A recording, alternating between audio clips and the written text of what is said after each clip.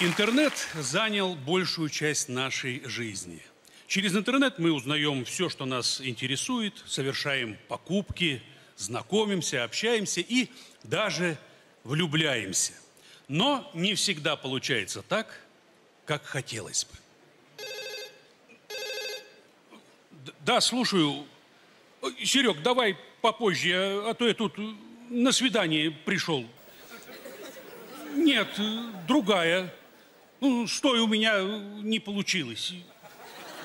Ну, ну, что значит почему? Ну, понимаешь, я ж через интернет знакомлюсь. Ну, она сказала, что ее зовут Катя. Смутило то, что на фото было подписано Даша. А когда встретились, оказался Антон. В общем, не получилось. Характерами не сошлись. Ну, ладно, все, давай попозже, а то она должна уже подойти. Надеюсь, хоть сегодня все будет без обмана.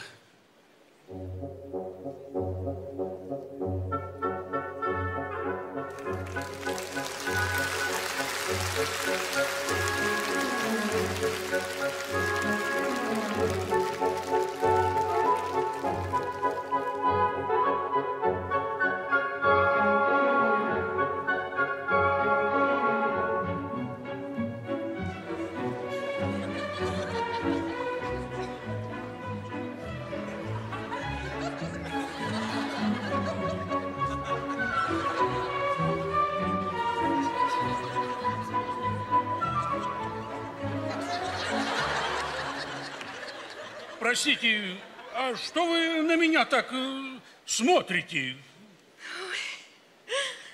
Валера, Да, очень приятно.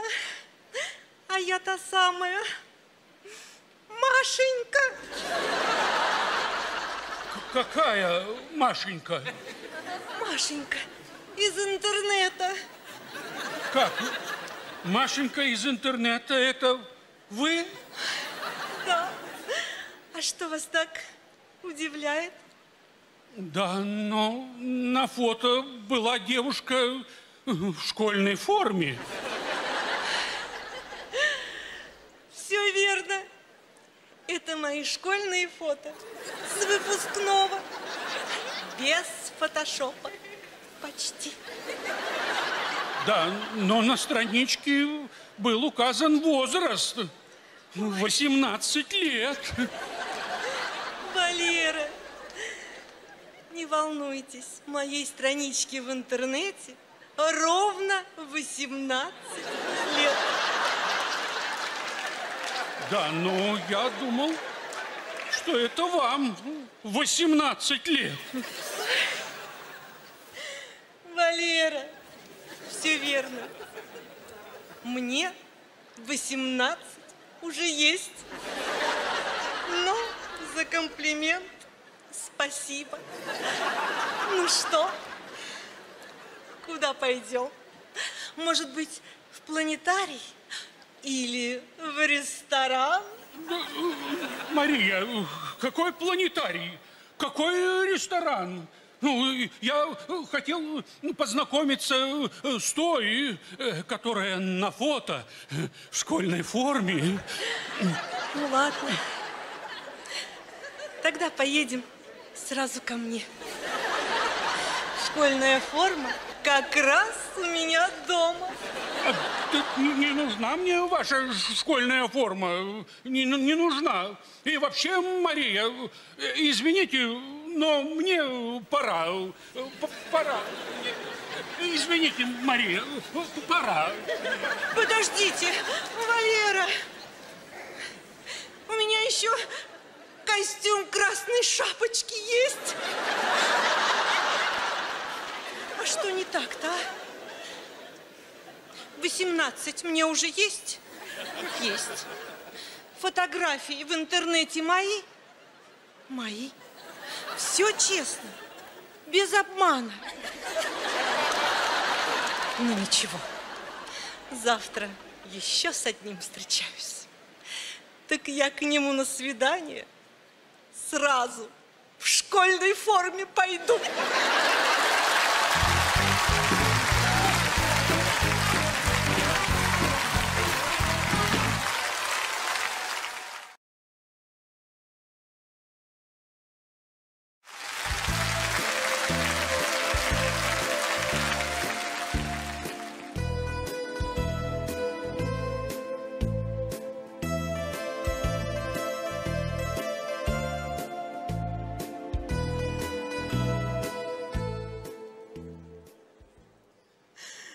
Любовь Михайловна, я этот вечер, наверное, не забуду никогда.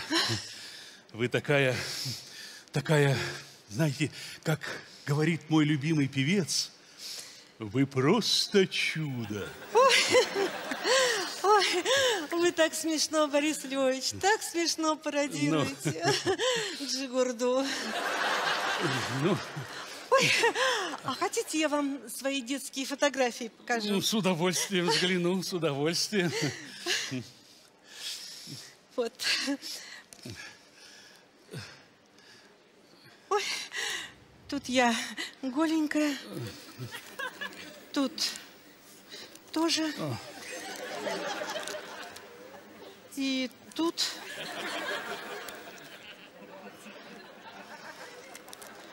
А, вот, вот тут я в детстве. Да, М, хорошенькая.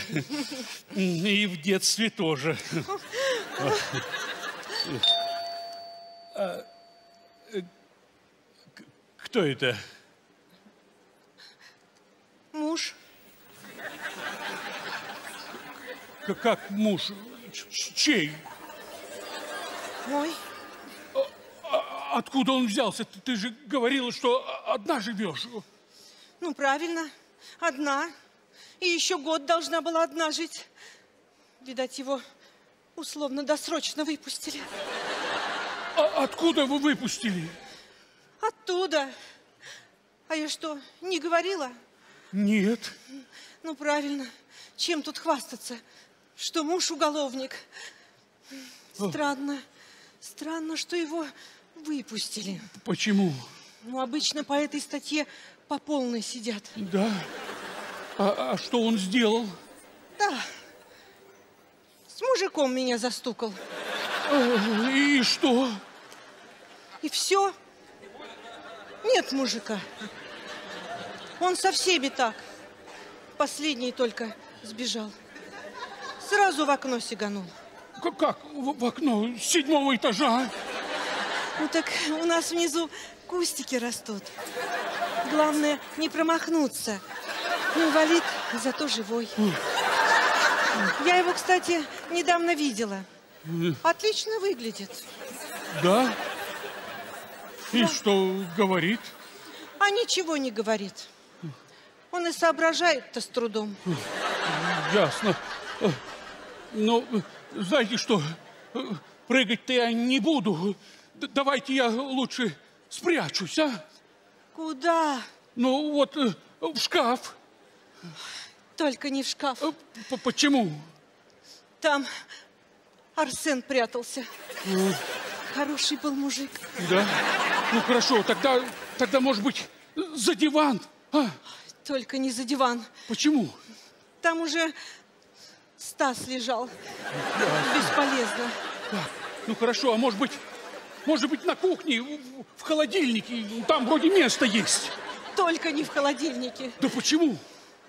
Там Ну, Али Муратыч прятался. ну и что? Выбросил в окно. Как? Вместе с холодильником. Все равно он уже старый был. Холодильник? И холодильник тоже. Ясно. Да что ж такое? Так, э, Может прыгнуть. нет, нет. Э, Давай скажем, что я, я сантехник. Только не сантехник. Почему? Он Гришу, сантехника, самого первого в ванной утопил. Хотя Гриша всего только кран чинил. Да, а за что же тогда утопил? Сантехников не любит. Почему? Понимаете, у меня первый муж сантехником был, А, а второй водопроводчиком. ясно. А еще он не любит дальнобойщиков, почтальонов и поваров. О, богатая биография. Он вообще мужиков не любит, которые ко мне ближе, чем на два метра подходят. Ну, это понятно. Э, Так, э, скажи, а может быть, может быть, я твой школьный приятель, а? Да все мои школьные приятели мой дом за пять километров обходят. Почему? Жить хотят. Ясно. Ну, в конце концов, давай скажем ему, что я твой новый сосед. За солью зашел. В час ночи. Ну да. Да все мои соседи и днем-то со мной даже поговорить боятся. После того случая. После какого? Ну, когда ко мне сосед за солью дошел. И- Говорит, дай соль. Ага. Ну, я ему и дала. А тут, как назло, муж пришел. И что? Сосед живой? Да, настоящий мужчина. Даже не испугался. Сразу в окно прыгнул. Ой, Ну, я в окно, наверное, не буду прыгать, тем более, тем более, вроде ушел.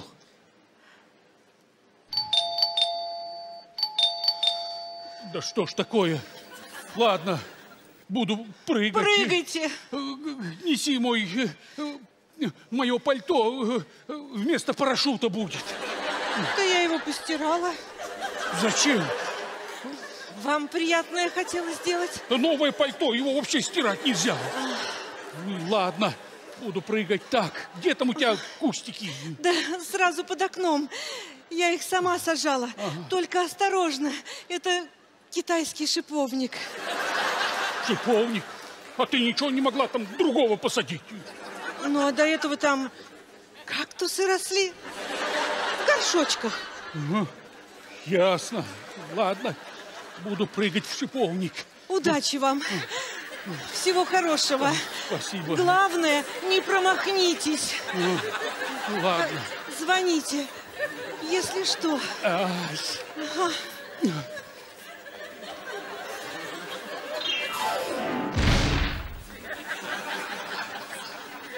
Промазал. Ну, хоть кустики не помял.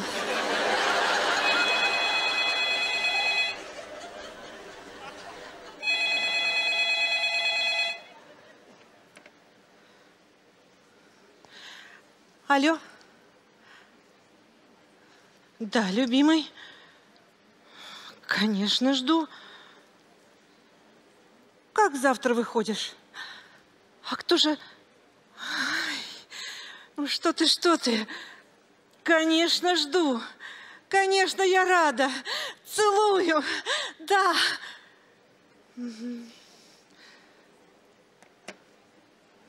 А кто же тогда в дверь звонил? Вспомнила. Вот я дура. Я же пиццу заказывала. И с мужиком неудобно получилось. Да еще и без ужина осталось.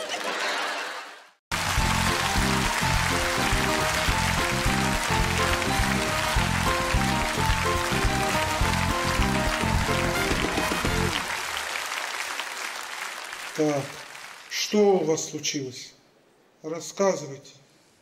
Товарищ следователь, Вот я... дело было так. Я ни в чем не Я виноват. сейчас вам расскажу Вот всю поверьте мне, правду. товарищ следователь. Я не Честное, обманываю. благородное Я слово. не такая. Это все а она. все, что говорит Все, что она он, наплела, это негодяй, это ложь Такого и неправда. Да, Не может быть. не все сразу. Я ничего не понимаю. Говорите по очереди. Гражданочка, я вас слушаю. Товарищ следователь, понимаете, мой сосед маньяк. Да-да. Я сама видела, как в одной передаче про суд его приговорили к 20 годам лишения свободы. Товарищ следователь, я актер. Ну, совсем недавно в одной передаче про суд я действительно сыграл роль маньяка, ну, которого, ну, по сценарию приговорили к 20 годам лишения свободы. Ну, сразу после эфира я решил отметить это с друзьями на природе. Ну, я замариновал два ведра мяса под шашлык, взял все самое необходимое и вышел из своей квартиры. Товарищ следователь, когда я посмотрела передачу про моего соседа уголовника, я решила прогуляться. Я оделась, вышла из своей квартиры и вызвала лифт. Как вдруг, откуда ни возьмись, он маньяк. Я зашел в лифт, поздоровался с соседкой, ну, поставил э, два ведра с шашлыком, э, но вспомнил, что забыл взять топор. Ну, я попросил соседку буквально пару минут подождать и вернулся в свою квартиру. Товарищ следователь, два ведра расчлененного мяса стояло у моих ног. А сосед уже возвращался к лифту с топором. От ужаса я нажала кнопку первого этажа. Товарищ следователь, я, я уже почти вернулся. Но лифт неожиданно закрылся и пошел вниз. Ну, я, э, не раздумывая, бросился догонять его вниз по лестнице. Товарищ следователь, когда лифт остановился на первом этаже, я услышала сильный грохот на лестнице. Я подумала, свидетель ему ни к чему. И я нажала кнопку верхнего этажа. Я, я уже почти добежал до первого этажа, но лифт неожиданно пошел наверх. Ну, я собрался силами, э, понимал, что соседка, по всей видимости, вспомнила обо мне э, и решила вернуться. Я собрался с силами и вместе с топором бросился вверх по лестнице. Товарищ следователь, я решила укрыться в своей квартире. Но вдруг подумала, оставлять два ведра с уликами – ни к чему. Я взяла одно из них, вышла из лифта и стала открывать дверь своей квартиры.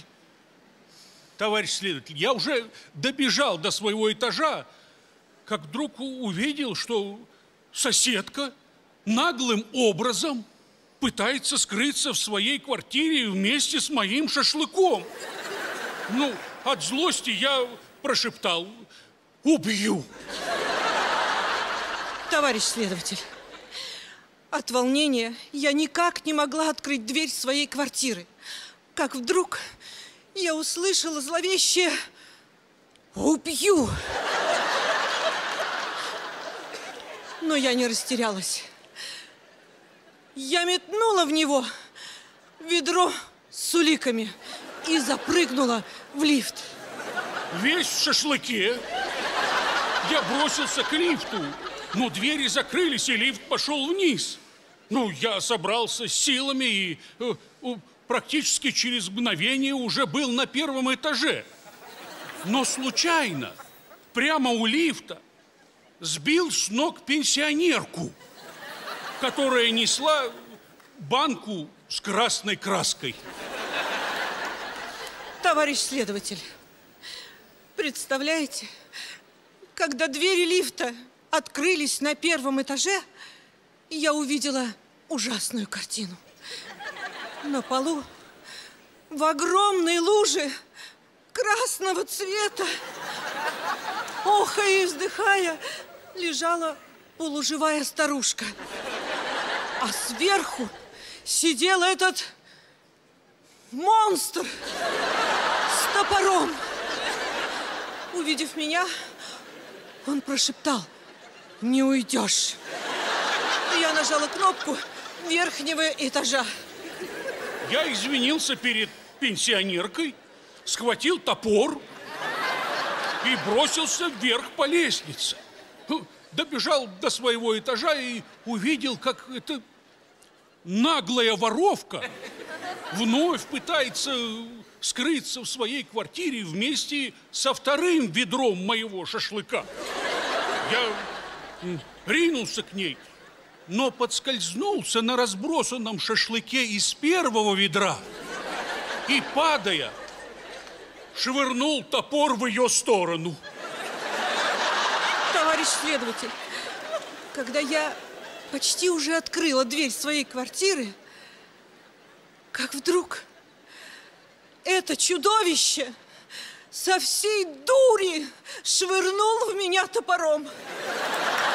Топор, как томагавк, просвистел у меня над ухом и воткнулся в дверь.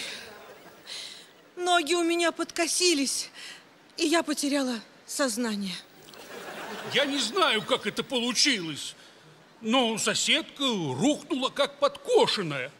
Хотя я отчетливо видел, что топор не задел даже ухо. Ну, чтобы не пугать других соседей, я э, втащил ее в свою квартиру и решил оказать первую медицинскую помощь.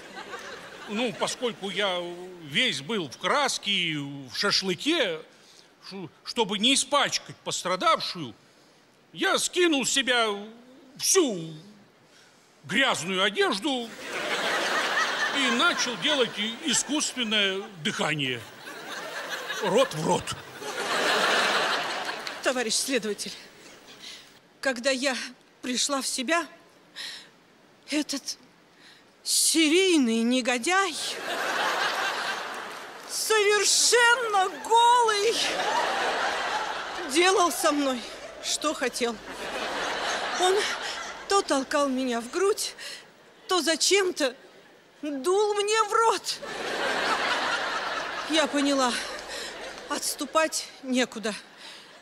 И чтобы избежать дальнейших издевательств, изо всех сил обхватила его руками и ногами. Когда я делал ей искусственное дыхание, соседка неожиданно меня очень сильно обняла. Всем, чем только можно. Ну, я подумал, что, видимо, она хочет извиниться передо мной таким образом. Но я не мог принять этих извинений. М, Ведь у меня на тот момент уже была любимая женщина, которая, кстати, все это время ждала меня внизу, в машине. Но не выдержала и поднялась ко мне в квартиру. Товарищ следователь, в тот момент, когда этот негодяй уже готов был растерзать меня, в квартиру ворвалась какая-то смелая женщина и, видимо, желая спасти меня, огрела его сковородой по голове. Ну хорошо. А от меня-то вам что нужно?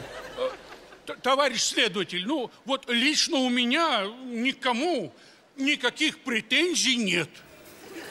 Да. А у меня есть. Товарищ следователь, я не знаю, как этот негодяй делал мне искусственное дыхание, но ровно через 9 месяцев у меня родилась тройня. Поэтому либо он ведет меня в ЗАГС, либо я его к прокурору.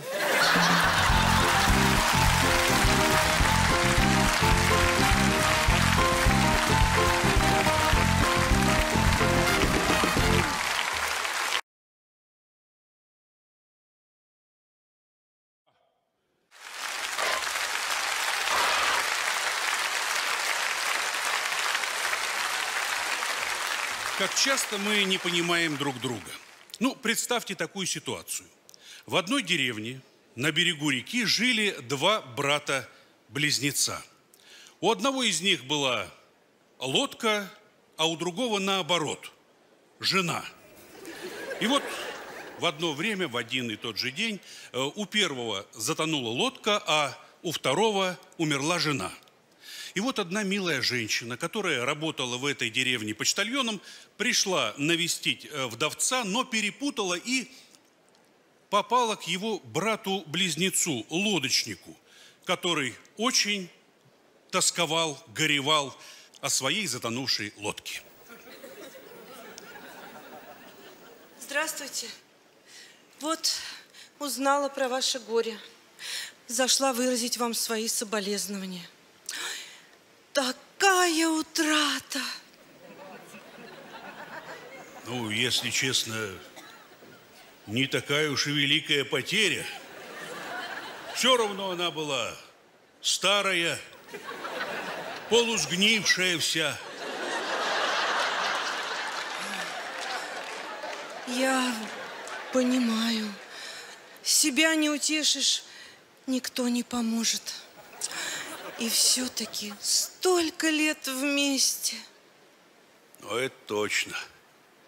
Я ж, можно сказать, пол жизни на ней провел. Да что там пол жизни? Я в последнее время и не слезал с нее. Ой, вы меня, конечно, и извините, но, может быть, зря вы это в вашем-то возрасте. Да не могу я без этого. Ну, я не знаю, привычка, что ли. В общем, люблю я это дело.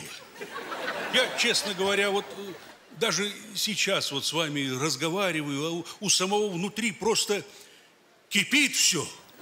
Я бы прямо сейчас, э, может быть, в дом э, пройдем. А? Нет, нет, э, спасибо. Ну, тогда давайте прямо здесь. Что? Ну, посидим, поговорим. А то ведь мне и поделиться-то не с кем. У брата вон своих проблем хватает. Как я без нее, даже не знаю. Нет, конечно, можно поехать в город, выбрать себе любую и купить. Но даже самое плохенькое стоит таких денег. А это все-таки как родная была. Да, всегда под боком. Захотелось, прыг на нее, и не слезаешь часами. Она ж мне как жена была. Так вы что, не расписаны, что ли, с ней были?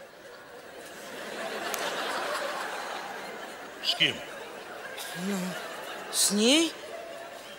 А, не, ну, записано на меня было. На меня. Ну, я ж брал-то ее не новую. Так сказать, БУ. Она до меня мужиков пять сменила, если не больше. Я еще подумал, ну, хватит ей по рукам-то ходить. Ну, хозяин должен быть один. Ну, и забрал ее себе, привел в порядок. Всю душу в нее вкладывал, прям как в песни. Я помню все твои трещинки. Ой. Ой. Да вы уж мне лучше расскажите, а как все это произошло-то? Да как произошло? Ну, я тут на днях э, дал ее троим своим друзьям попользоваться. Но они с пьяну ее и утопили. Что значит утопили? Да как же вы могли-то отдать свою кровиночку этим варварам. А что здесь такого? Мы же с вами в цивилизованном государстве живем. Сегодня я выручу, завтра меня. Да я уверен, обратись я к вашему мужу, он тоже не будет против. Ну, а что, попользуюсь пару дней и верну?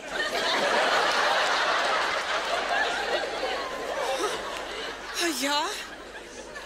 У меня что, даже и спрашивать, что ли, не надо?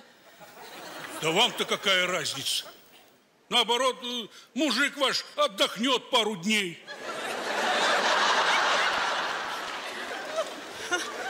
Да он уж полгода как отдыхает. Это уж вы зря полгода. Да мы с ним на прошлой неделе вместе ходили. Куда это вы с ним вместе ходили? А куда? Куда и всегда.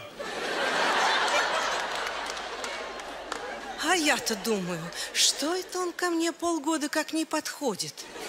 Ну, спасибо тебе, милый, что глаза мне открыл. Я думал, вы в курсе. Вы уж извините, если что не так. Да ничего. Ну так что, не против будете, если я ну, попользуюсь пару дней, а? А? Ну, пару дней. А, вы в этом смысле? Ну да.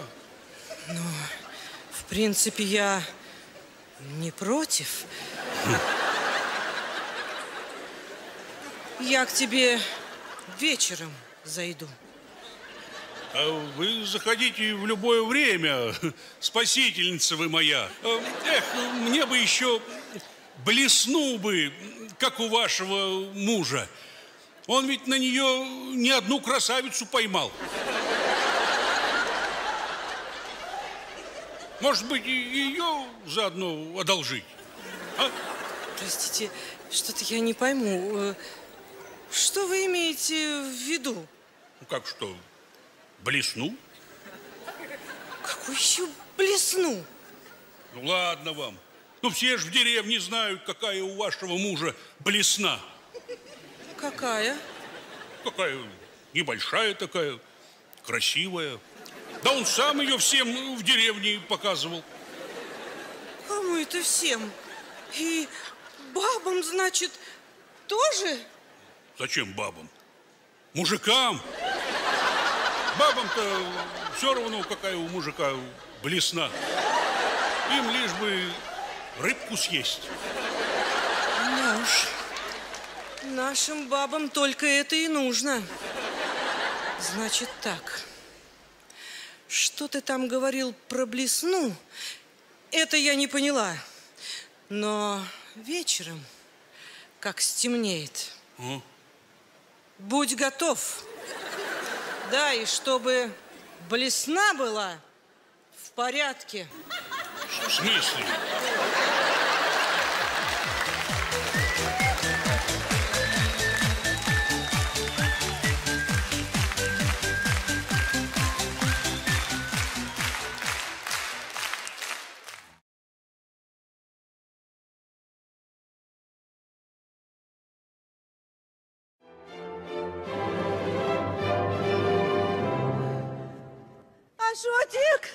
Света, ну что, скоро? сказали пять минут подождать. Пять. Еще немного, и она моя. Самая дорогая, самая лучшая и, главное, трехкомнатная. Ничего, что в Бутово, зато в Москве. Сейчас пропишусь сам, потом пропишу Мавцеса, Карину Джан и Фархада. Арарата тоже пропишу, друг все-таки. Как не прописать? Да, Армена надо прописать. Армен хороший. Я ему 500 рублей должен. Пропишу, и мы в расчете. Ашотик, Да, Света, а ты меня любишь? да. Люблю. Ашотик, любовь моя, как он смотрит, как он любит меня. Дурачок. Расстроится, наверное, когда узнает, что квартира в Бутово не моя. Подружкина квартирка, скажу ему я. А он мне, ничего, любимая. Главное, что мы любим друг друга. Дядя Ваган обидится, если не пропишу. Он ведь родной брат отца. Или нет? Матери, матери. Нет, у мамы другой брат. А у отца вообще одни сестры. Так чей же это брат? Откуда он вообще взялся? Хотя какая разница? Брат есть брат, прописать надо. Ашотик, Да, Света. а ты меня сильно любишь? Да. Люблю. Как же Ашот любит меня, заботится. Купил мне таблетки для похудания. Дурачок. Да через неделю я и без таблеток килограмм 10 скину. Сурен, Такес, Вацген, Ануш, Овсана, Фархат, Байдар, Василий Петрович Кузнецов, Дзеран, Мазис. Стоп. Какой еще Василий Петрович? Никаких Кузнецовых в моей московской квартире не будет. Понаехали тут. Ашотик, Да, Света. а ты детишек любишь? Да. Люблю. Ашотик о сыне мечтает. А я ему после свадьбы троих подарю. Пяти лет, восьми и семнадцати. Вот он рад будет. Минас, Гагик, Ахан. Так, Армена я уже называл? Нет? Никто не помнит? По-моему, называл. Не хватало его еще дважды прописать. Так, ну-ка давайте сначала. Мавцес, Карина Джан, Фархат. Ашотик, Да, Света. а ты меня с первого взгляда любишь? Да. Люблю. Ашотик, радость моя, мне бы тебя пораньше встретить. Хотя бы месяца на четыре. А то через неделю у нас прибавление будет. А знакомы всего три месяца. Нехорошо это как-то. Неувязочка вышла. 87 человек. Плюс Карен. Плюс я со Светом. Большой семья получается. А квартир маленький. Где-то по 45 штук в каждой комнате, правильно? Нет? Почему? Две комнаты на всех хватит. А третью я сдавать буду. Кузнецову, Василию Петровичу. Не бросать же его на улице. Ашотик, Да, Света.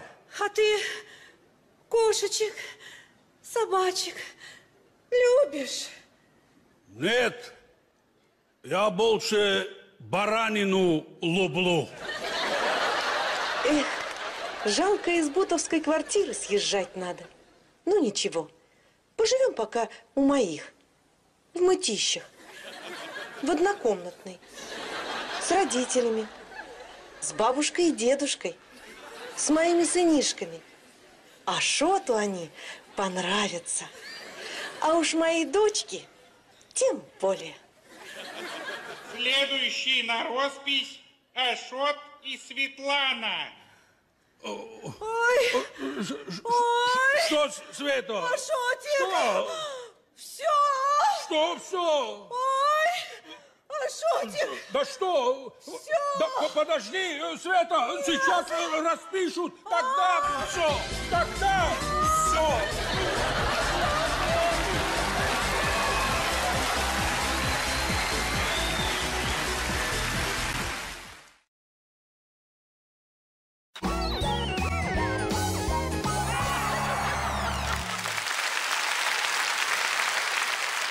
Добрый день, уважаемые телезрители, и вновь ваше любимое ток-шоу. Тема нашей программы, как обычно, интересует всех нас больше всего.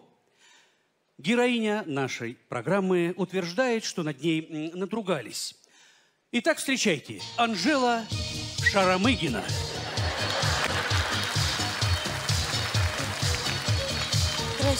Присаживайтесь. Расскажите, с чего все началось? Меня в гости пригласили. На какую-то дачу. Так, С ночевкой. В сауне попариться и пивка попить. хорошо. А кто пригласил? Да кто его знает? Мужики какие-то. Ну, вы, разумеется, отказались. Ну, я ж не дура. Ну, Конечно, поехала. к- как? На халяву-то. В сауне попариться и пивка попить. Ну, вы понимали, для чего они вас э, пригласили? Ну, я ж не дура. Конечно, понимала. В сауне попариться и пивка попить. С незнакомыми мужиками. Ну, это меня тоже немного смутило. Но так пивка хотелось. Думала, в сауне попарюсь, пивка попью и домой поеду. А они, бесстыдники, вон что удумали. Ну, хорошо. Э, Скажите, вам э, знаком вот этот э, человек? Конечно. Я его сразу узнала. Мгм. По рубахе. Он был в этой рубахе. Не, в свитере. Я этого негодяя на всю жизнь запомнила. Это он мне пылесос продал. Простите, какой еще пылесос? Современный, от комнатных клещей. Да, Подождите, э, э, в сауне был он или не он? Да кто его знает? Их там человек 10 было. Но всех и не упомнишь. Ну, по- посмотрите, вот он Ну, вроде он. Точно он. Вон морда какая наглая.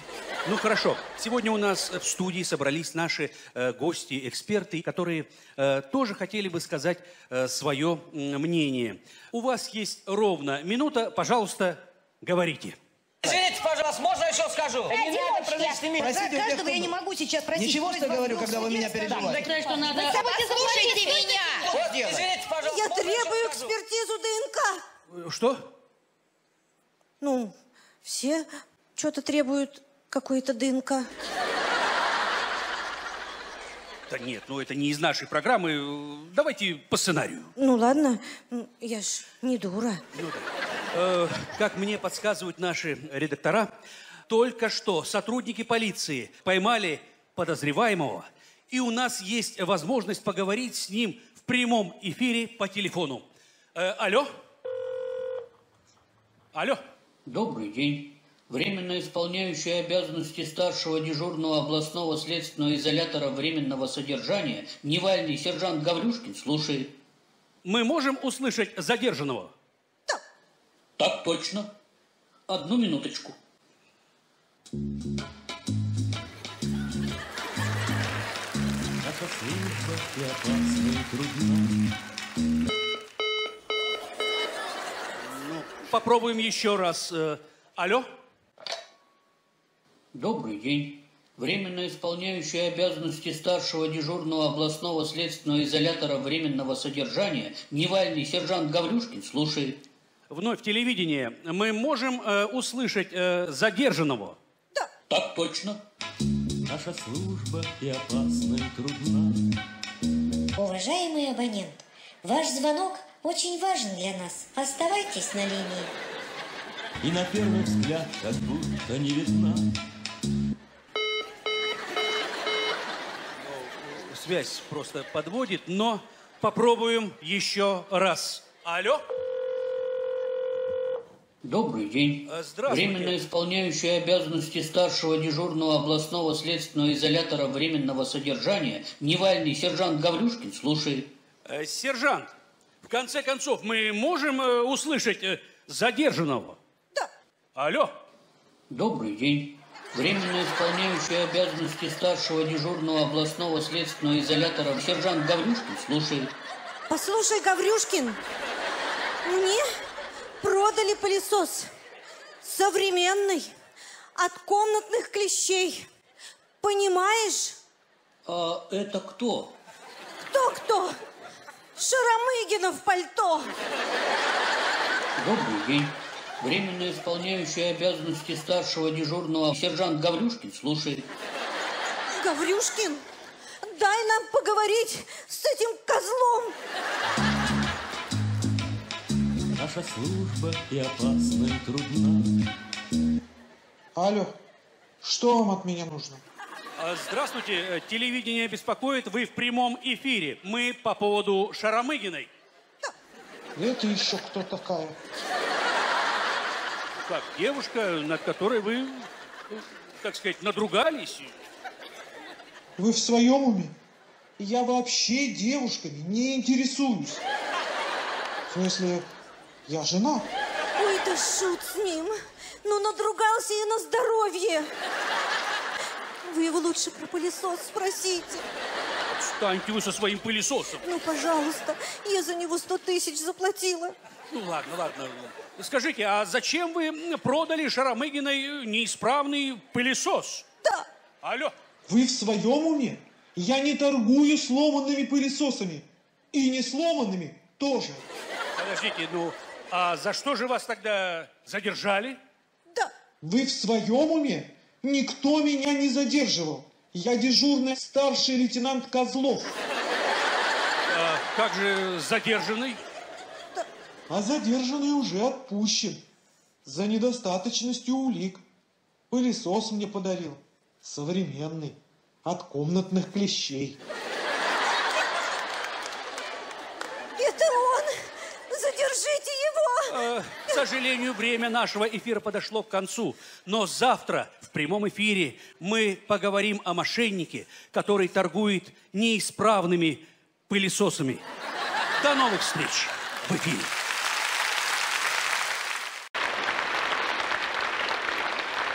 Уважаемые дамы и господа, наш самолет набрал необходимую высоту, но, к сожалению, потерял управление и сейчас падает в море.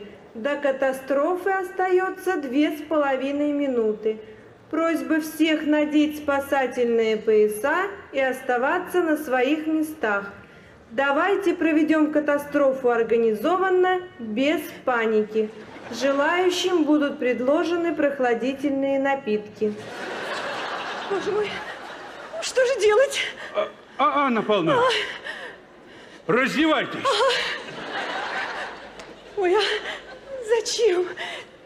Я же все равно плавать не умею. А, Анна Павловна, раздевайтесь, стюардесса предупредила. У нас на все про все две с половиной минуты. Сергей Тимофеевич, миленький, да что вы обо мне это так беспокоитесь? Я же все равно утону. Утоните, ну, перед смертью последнюю радость получим. Если успеем. Как? Прямо здесь? А, а вы что, под водой предпочитаете? Нет, ну, а вдруг, а вдруг мы не разобьемся? Как это не разобьемся? Не волнуйтесь, вы, все будет нормально. Разобьемся. Ой, нет, ну, а вдруг что быть, а вдруг ваша жена узнает? Она уже ничего не узнает. Снимай свои чертовые шмотки. Господи, да что вы на меня так кричите? Ну так же сразу нельзя. Сначала же нужно привыкнуть друг к другу, а уже потом... Нет, сначала потом. Привыкать на том свете будем. Я так сразу не могу. Ну вы бы для начала хоть сказали что-нибудь. Что? Ну, я не знаю, ну, что любите меня, что жить без меня не можете. Ну, что все обычно говорят, ну, можете сказать или нет? Ну, не могу, не могу я без тебя жить. Ровно минуту. Господи, и зачем я с тобой связался? Вон, роскошная блондинка в обмороке лежит. Но я до нее уже не успею.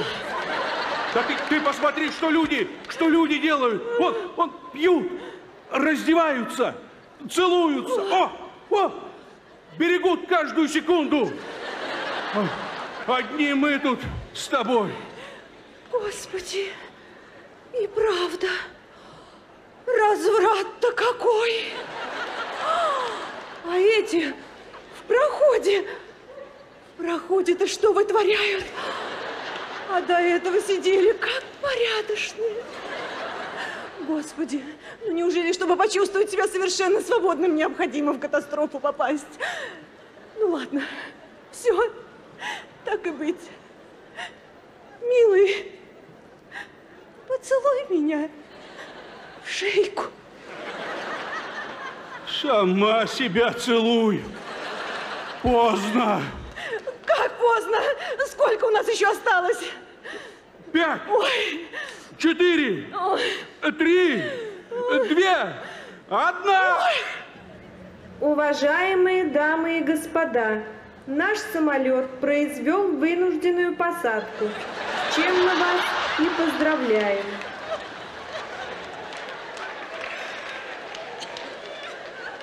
Ну, а вы говорили, разобьемся? Обманщик.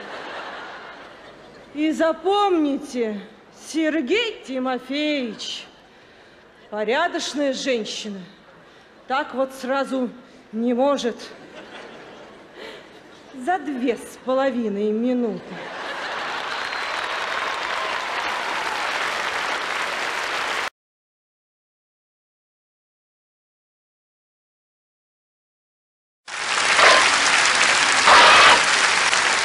Семена Альтова есть рассказ «Семейка».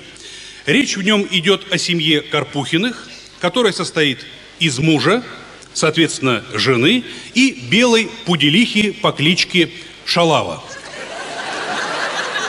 Позади уже 10 лет совместной жизни, и вот в один прекрасный день, когда супруги уже готовились ко сну, в спальню зашла собака, притащив с собой до боли знакомый предмет, который она, соответственно, отдала своей хозяйке. Вадим, что это?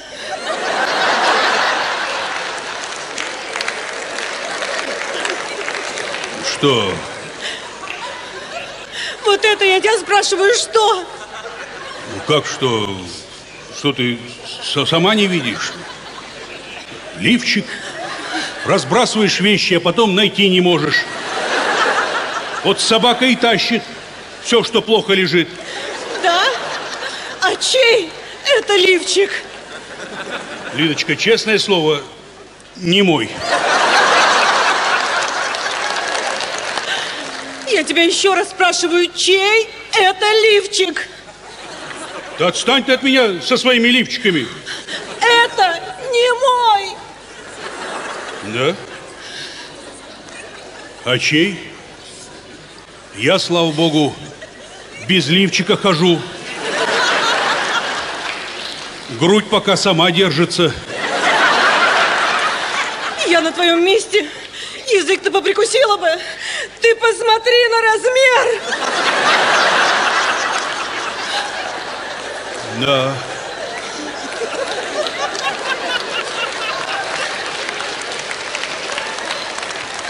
Это не твой.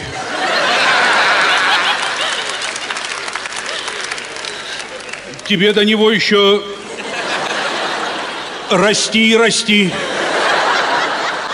Это размер шестой. Если не двадцать шестой.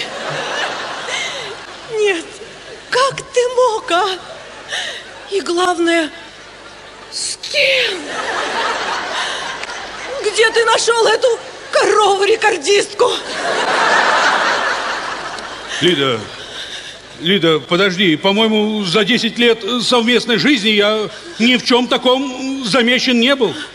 Так что напрасно ты машешь этим гамаком.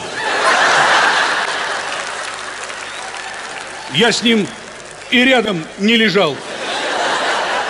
А ну, дай его сюда. Ничего не понимаю. Ведь каждый раз проверяю все, до волоса на подушке. Уксусом пол поливаю, только бы духи не унюхала. А тут такая улика. Уличища! Не иначе Наташка подсунула. Решила отомстить. Неужели у нее такой бюст? О, скрытная баба. А может, Светка? В темноте размер не зафиксируешь? Да нет. Такое я бы запомнил. Черт бы их всех. Ну, давай разберемся. При чем тут я? Вспомни, может быть, кто из подруг забыл, а? Из чьих подруг? Из твоих? Лида, ну, может быть, э, может быть, ты вчера он белье гладила. Ну вот свой лифчик и разгладила.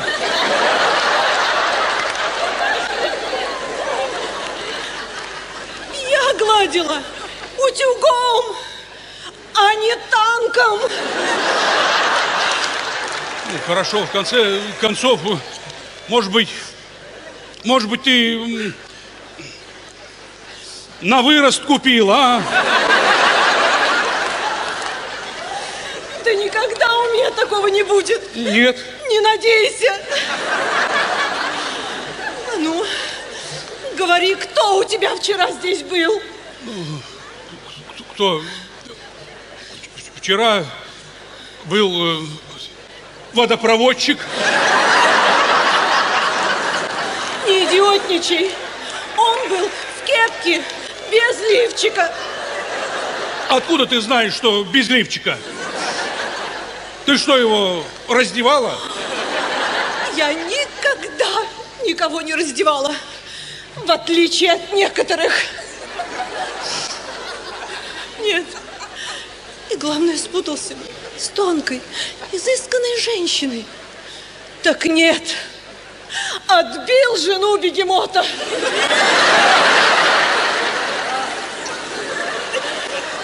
Вот. Это твой вкус. Нет, ну теперь-то я, конечно, понимаю, почему тебя вместо филармонии все время тянет в цирк. Между нами нет ничего общего. Лида, ну перестань. Ну, ну что ты в самом деле из пальца скандал высасываешь? Да собака притащила откуда-то этот чу- чудовищный лифчик. Может быть, даже с улицы. Да, э, да таких э, женщин просто в природе не существует. А что бы ты сказал, если бы собака притащила чужие мужские кальсоны? Ты скажешь тоже, Лид, э, кальсоны. Кстати, а что это у тебя такое? Что? Вот это вот, э, что это э, ты держишь? Где? В руках, что это такое, а? Что? Я тебя спрашиваю, вот это вот что, что такое? Это? Да.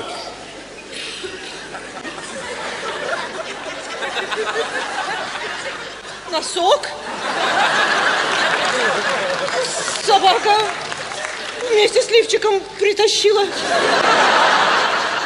Да? А чей это носок? Не мой же. Да я таких носков сроду не носил. А ну говори, кто у тебя тут был в этом носке? А, ну, вчера был водопроводчик.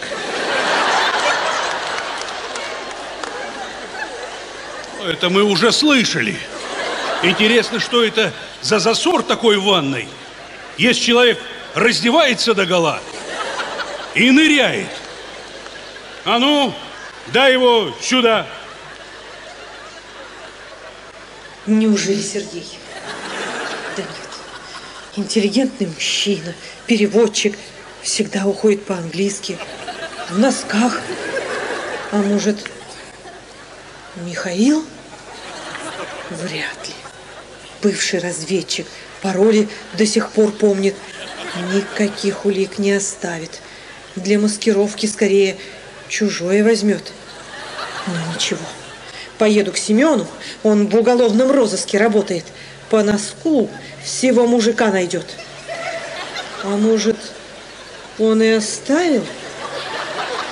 Ну, мужики. Ну, бабы, всех обойду. Кому подойдет лифчик, ту и убью. Маша! Где мои носки? Сколько раз говорил, не вешай на балкон! Ветром сносит! Единственные носки! Еще и лифчик! Ну, поздравляю! Мало того, что есть нечего, так еще и не в чем!